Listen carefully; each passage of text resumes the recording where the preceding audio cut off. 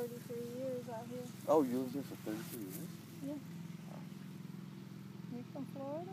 Yeah. I, I'm, I'm, I'm actually from Massachusetts, but live in Florida. Mm-hmm. I like it here. It's not There's as a hot lot as like- Florida. Yes. Are you a Catholic? I am Catholic. Yes. I'm not devout, really, but I do. I We go. were, as- my ancestors were um, Lutheran. Um, anybody asks us to leave, we've been kicked out of better places. the Lutherans had it really tough. I'll tell you where to look for the history. History of Lenoir County. It was at the archives at ECU. It's which isn't very far from here. It's just right down there. I'm almost positive. It's a black book with uh, gold uh, medallion on the front. It's at the library? Uh huh. And they tell about the history of um, let me think, de Graffenried. Yeah. And um, Luther, Luther and de, de Graffenried. They had a warm welcome. The Native Americans tied them to a stake and burned them. Oh my goodness. Mm, That's not good. The original artwork is in, um, I think, Switzerland or Sweden. Really? Yeah, it's been many years. I, I got I got so upset by the history I couldn't r- get into it because it was my relative, my yeah. ancestors. Yeah. My father's name was Luther. Oh, no way. You So ever you're go to St. Gabe's? I, this is our first time in town, Yeah. Mm-hmm. but we might be here for a few days. You going to school? I've already went to school. Graduated. I've went to college. I got my bachelor's in English, That's good. but I don't really do very much with my major. But Uh, Mr. Kyle, who lives on the other road, uh, he's a best friend of my husband. Uh, he used to work at Circuit City. I can't think of the name. It starts with C O N something. It's to do with computers. But Mr. Kyle lives. You know where Mr. Lee lives? Don Lee. No, like I said, we just got here a couple My hours ago. My husband brought the, bought the property from him. And uh, Mr. Lee owns Lee's Country Kitchen.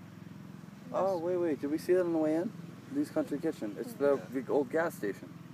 Is that what that is? I don't know. what- I've been up there once in 33 years, maybe twice. I, my husband did business with him. I don't do business with him. I don't know him that well. Um, Richard Kyle worked at Circuit City. He's a good friend of my husband. He's into electronics. He graduated from Columbia University, which is where my husband went after he got out of military in World War II. What did what was he in the military for? 1943, he was in Morocco, and uh, he was a driver, and he was diplomat. He speaks six different languages. Oh wow. I have trouble with the English. As do I. Um, if you check the newspaper and the news, you'll find out that some young black people were doing what you call it exorcisms. And they did one on Hey, a little that? black kid, and he died, and they went to like jail. voodoo stuff? Like I don't know crazy what it witchcraft? was. Like They broke into our house and practiced on me before they did it to him. Somehow I survived. I don't know how. Say what? Yeah, they That is. in the middle of the night, intruders in the house. so was there any justice served? Or like was this just the kid died. They went But to did jail. did oh they the person went to jail. Did the NAACP is after them big Yeah, time yeah, now yeah. For what they were doing. um so I've noticed there's a lot of jigs around here. there's a lot of black Uh, people, yeah. They're black people. There's a lot. Don't call there- them names. Is there is there a lot of this exorcism stuff going on around here? I don't know. I, it, it's something that happened to us It's because we voodoo were mad. vulnerable. It's, you know, it's and all we The want to be is good is- church going people, you know. Yeah, they're black folks and they're they have a different perspective on life than most people. Really, It's cray. No, it's not tragic. I survived. The kid is no longer suffering. He had issues with his health. I think he was um, what? Um. what you call it, epileptic or Oh my something like that.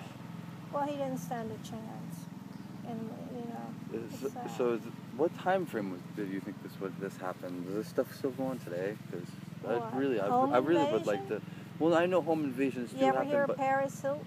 I, ha- I know I've this, but but I mean, I'm um. Her home- home was invaded, I and was- they stole stuff, and it was three months before she realized. I was thinking was more about more about the exorcist stuff. Do you, Oh, is, there, is that just some mumbo jumbo, or do you think it was real, or?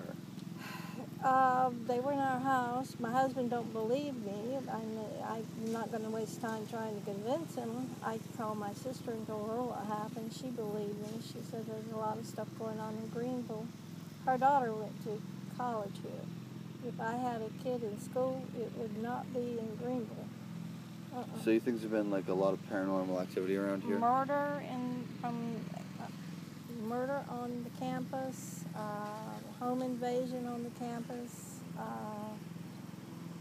And you, this little like does this stuff happen in Little Greenville all the time, or? it's unusually violent crimes. Been uh, That's what Eric was saying. yeah. No, it's really tragic. Mm. It's, It's sort of like the Looks like a Boston minor, eh? bombings, you know. yeah, it's You like why didn't- what, what what possessed people to do that? You know, it's really Meanness, I think, revenge, religious differences.